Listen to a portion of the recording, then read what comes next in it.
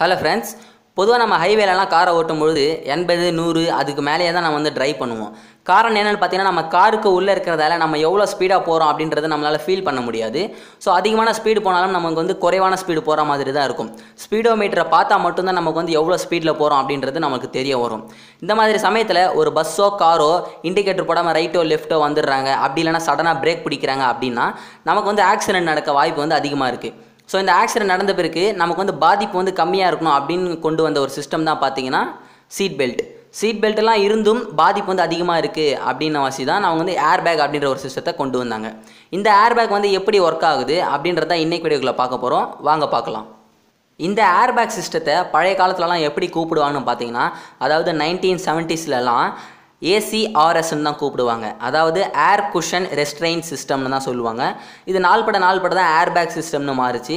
இந்த airbag system எப்படி work ஆகுதுன்னு பார்க்கறதுக்கு முன்னாடி இதோடைய காம்போனன்ட்ஸ்லாம் எப்படி இருக்கும்? அந்த காம்போனன்ட்ஸ்லாம் காரில் எங்கெங்கே ஃபிக்ஸ் பண்ணியிருப்பாங்கன்னு பார்த்துடலாம் வாங்க. ஏர்பேக்குடைய முதல் காம்போனன்ட் என்னென்னு பார்த்தீங்கன்னா ஏர்பேக் தான். இந்த ஏர்பேக் வந்து டிரைவருக்கு எங்கே வச்சுருப்பாங்கன்னு பார்த்தீங்கன்னா ஸ்டியரிங்கில் வச்சுருப்பாங்க. ஸ்டியரிங்கில் ஏர் பேக்காக மடித்து வச்சுருப்பாங்க. இப்படி மடித்து வைக்கும் பொழுது ஏர் பேக் வந்து ஒன்றோட ஒன்று ஒட்டாமல் இருக்கணும் அப்படின்றதுக்காக ஏர் பேக் மேலே டால்கம் பவுடர் அப்ளை பண்ணி மடித்து வச்சுருப்பாங்க. அதனால தான் பார்த்தீங்கன்னா ஆக்சிடென்ட் அக்கர் ஆகும்பொழுது வெள்ளை கலரில் புகை வரும். அதாவது ஏர் பேக் ஓப்பன் ஆகும்போது வெள்ளை கலரில் புகை வந்து இருக்கும். கோ டிரைவருக்கு ஏர்பேக் எங்கே வச்சிருப்பாங்கன்னு பார்த்தீங்கன்னா டேஷ்போர்டில் மடித்து வச்சிருப்பாங்க. ஸோ அந்த ஏர் பேக்லையும் பார்த்தீங்கன்னா டால்கம் பவுடர் அப்ளை பண்ணி தான் இருப்பாங்க. இப்போ உங்களுக்கு ஒரு சந்தேகம் எழுந்திருக்கலாம் இந்த இடத்துல. ஏர் பேக் வந்து எப்படி தானாக விரிஞ்சு டக்குன்னு வந்து தானாகவே சுருங்கிடும். ஸோ அது எப்படி வந்து சுருங்குது அப்படின்ட்டு ஒரு டவுட் இருக்கும். பொதுவாக எல்லா ஏர் பேக்லேயும் பார்த்தீங்கன்னா ஒரு சின்ன ஹோல்ஸ் போட்டிருப்பாங்க. ஸோ ஏர் பேக் உள்ள காற்று வந்து அது விரிவடைஞ்சு கொஞ்ச நேரத்திலே பார்த்தீங்கன்னா அந்த ஹோல்ஸ் வழியாக எல்லா ஏரும் வந்து வெளியே வந்துடும் இதனால தான் பார்த்தீங்கன்னா ஏர் பேக் வந்து டக்குன்னு சுருங்கிடுது. பொதுவாக எல்லா ஏர் பேக்கும் எந்த மெட்டீரியலில் செஞ்சுருப்பாங்கன்னு பார்த்தீங்கன்னா நைலானில் தான் அந்த ஏர் பேக் வந்து செஞ்சுருப்பாங்க.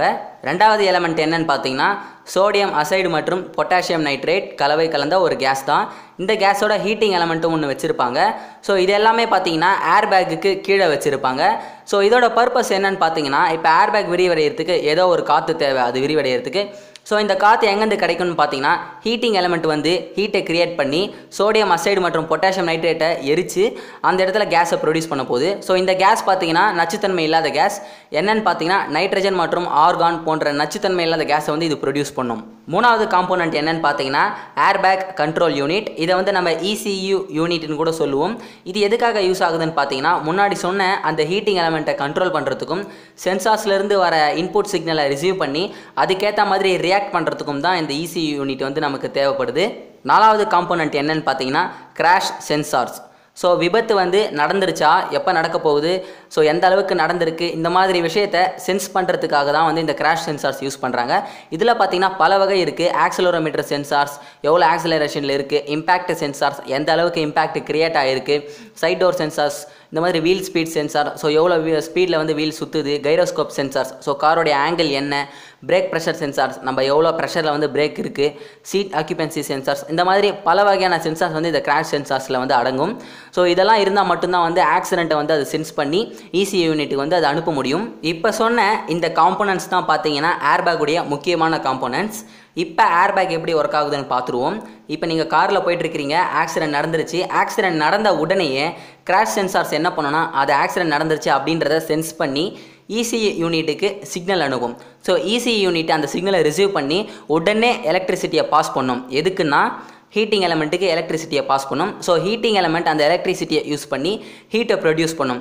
ஸோ ஹீட்டு ப்ரொடியூஸ் ஆனவுடனே சோடியம் அசைடு மற்றும் பொட்டாசியம் நைட்ரேட் என்ன ஆகும்னா பேர்ன் ஆகி நச்சுத்தன்மை இல்லாத காற்று அதாவது நைட்ரஜன் மற்றும் ஆர்கான் காற்று வந்து ப்ரொடியூஸ் ஆகும். ஸோ இந்த காற்று வந்து வேகமாக ஏர்பேக்குள்ளே நுழையிறதால ஏர்பேக் என்ன ஆகும்னா விரிவடைஞ்சு நமக்கு பாதிப்பிலிருந்து குறைக்கும். ஸோ பாதிப்பு வந்து முடிஞ்ச அளவுக்கு இந்த ஏர்பேக் வந்து குறைக்கும். இந்த ஏர்பேக் ஓப்பன் ஆகிற ஸ்பீடு பார்த்தீங்கன்னா நம்ம கண் இமைக்கும் நொடிகளை விட வேகமாக வந்து இந்த ஏர்பேக் வந்து ஓப்பன் ஆகிடும்.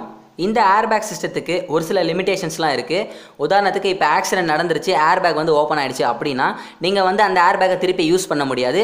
ஸோ இன்னொரு ஏர்பேக்கை நம்ம புதுசாக ரீப்ளேஸ் பண்ணி தான் ஆகணும். இன்னொரு லிமிடேஷன் என்னென்னு பார்த்தீங்கன்னா ஒரு சில ஸ்கோடா காஸ்ட்லாம் வந்து ஏர்பேக் வந்து விரிவடையில அதாவது ஆக்சிடென்ட் நடக்கலை. அதனால ஏர்பேக் வந்து விரிவடையில. அப்படின்னாலும் பதினாலு வருஷத்துக்கு ஒரு முறை வந்து நம்ம ஏர் பேக்கை செக் பண்ணி அதில் ஏதாவது மாற்றம் தேவைப்படுதா அந்த ஏர் பேக்கை ரீப்ளேஸ் பண்ணி ஆகணுமா அப்படின்றது நம்ம வந்து பதினாலு வருஷத்துக்கு ஒரு முறை சில ஸ்கோடா கார்ஸில் வந்து செக் பண்ணி தான் ஆகணும். ஒரு சில வால்வோ கார்ஸ்லலாம் பார்த்தீங்கன்னா ஏர் பேக் வந்து நம்ம லைஃப் டைமுக்கு யூஸ் பண்ணலாம். அதாவது ஆக்சிடென்ட் நடக்கவே இல்லை அப்படின்னா நீங்கள் ஏர் பேக்கெல்லாம் செக் பண்ண வேண்டிய அவசியமே கிடையாது. ஸோ லைஃப் டைமுக்கு வந்து ஆக்சிடென்ட் நடக்கிற வரைக்கும் அந்த ஏர் பேக் வந்து நல்லா தான் இருக்கும். இன்னொரு லிமிடேஷன்ஸ் என்னென்னா பொதுவாக வந்து இது யாருக்கும் தெரிய வாய்ப்பு இல்லை. ஒரு சில பேருக்கு இது தெரிஞ்சிருக்கலாம். அதாவது என்னென்னா சீட் பெல்ட் நம்ம அணியலைன்னா ஏர் பேக் வந்து ஓப்பனே ஆகாது. இது நிறைய பேர் வந்து இது தெரியாமல் வந்து ஆக்சிடென்ட் நடந்த பிறகு எனக்கு இது ஏர் பேக் வந்து ஓப்பன் ஆகலை அப்படின்ட்டு கம்பெனியில் போய் கம்ப்ளைண்ட் பண்ணுறது உண்டு. ஸோ கம்பெனியில் கேட்குற முதல் கொஸ்டின் என்னென்னு பார்த்தீங்கன்னா நீங்கள் சீட் பெல்ட் போட்டு இருந்தீங்களா?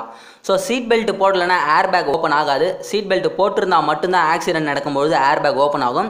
அதற்கு காரணம் என்னன்னு பார்த்தீங்கன்னா இப்போ சீட் பெல்ட் போட்டிருக்கீங்க ஆக்சிடென்ட் நடக்குதுன்னா ஒரே டைரக்ஷனில் போவீங்க. ஸோ அதனால் ஏர் பேக் ஓப்பன் ஆகும்போது உங்களுக்கு இம்பாக்ட் வந்து நம்ம குறைச்சிடலாம்.